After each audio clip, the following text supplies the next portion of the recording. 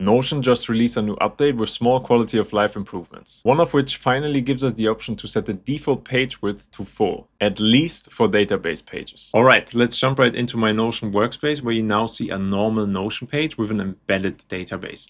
And you probably know already that for normal pages you can always click in the three dot menu in the top right corner and find the full width setting which you can toggle on or off in here.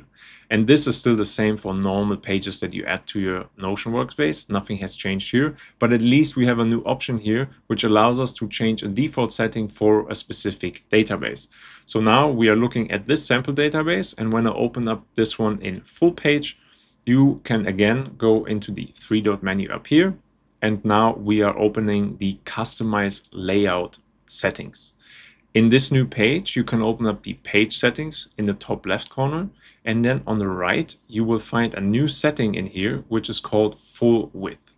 It comes with a small tooltip that also tells you that you can still override this setting by using a different setting on an individual page. But in general, setting this to on will change the full width setting to toggled on for all database pages within the same database. And as you can see on the left, you also have a small preview here. So let's toggle this on for now. And then we click on apply to all pages. And now what we should see here in this database, all these pages are now full width.